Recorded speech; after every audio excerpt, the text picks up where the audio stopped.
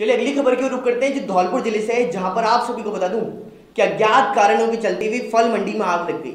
इससे भारी नुकसान तो हुआ ही, लेकिन इस नुकसान का अनुमान लगभग 40 लाख रुपए का बताया जा रहा है। साथ ही काफ़ी व्यापारी इससे हताहत होते हुए भी नज़र आए हैं और ये कई प्रकार के फलों के कैरेट भी चलते हुए नज़र आए हैं। तो दिखाते इसी पर रिपोर्ट की किस प्रकार से नुकसान हुआ, आग के पीछे के कारण क्या कुछ थे और आग के ऊपर काबू पाया गया या नहीं पाया गया, देखिए हमारी ये स्पेशल रिपोर्ट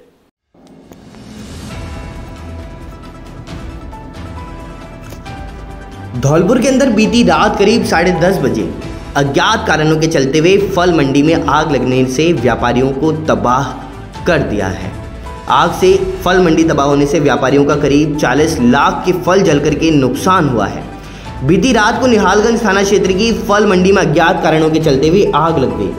पल भर में आग ने इतना भयानक रूप लिया कि लोगों की रूह काँप गई। रिहायशी इलाके में आग लगने से लोग घरों से बाहर निकल गए। इलाके में आसपास दहशत का माहौल भी बन गया और अब हादसे की सूचना अग्निशमन को दी गई। मौके पर पहुँची अग्निशमन की गाड़ी से स्थानीय लोगों के द्वारा कड़ी मशक्कत कर आग को बुझाने के प्रयास किए गए। करीब दो घंटे की मशक्कत के बाद में आग को बुझाया गया।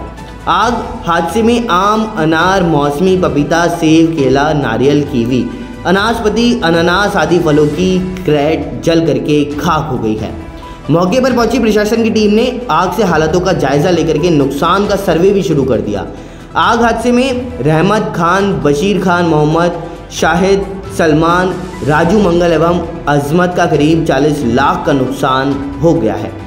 नगर परिषद के सभापति प्रतिनिधि निशांत चौधरी ने बताया कि आग हादसे की जाँच की जाएगी और नुकसान का सर्वे कर व्यापारियों को पूंजा दिलाने की कार्रवाई भी की जाएगी।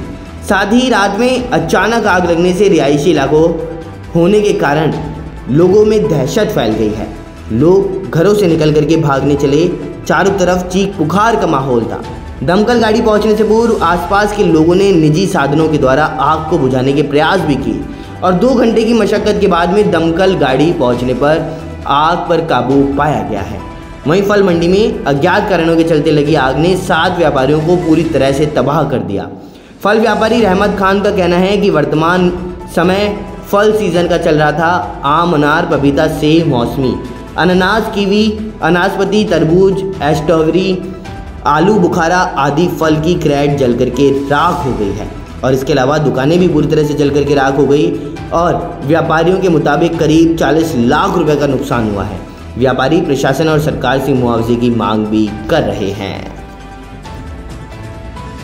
आज इस फल मंडी में जो आग लगी है, वो बहुत ही दुर्भाग्यपूर्ण है। दुख की बात है, पूरे धौलपुर शहर के दुख की बात है और मैं इस बात पे अफसोस ज़ाहिर करता हूँ कि ये आग लगी और इसको बुझाने में जो टाइम लगा, उस टाइम पर लोगों का नुकसान हो चुका था।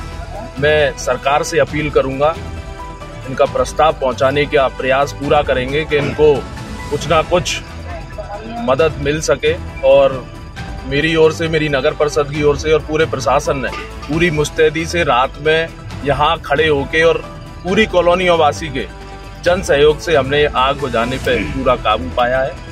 और अभी तो आग बुझ गई है, पर जिन लोगों की भी हानि हुई है, नुकसान हुआ है, उसके लिए मैं खेद व्यक्त करता हूँ। फ़िलहाल देश और दुनिया की तमाम बड़ी खबरों के लिए इतना ही। बने रहिए न्यूज़ एटीन के साथ। नमस्कार।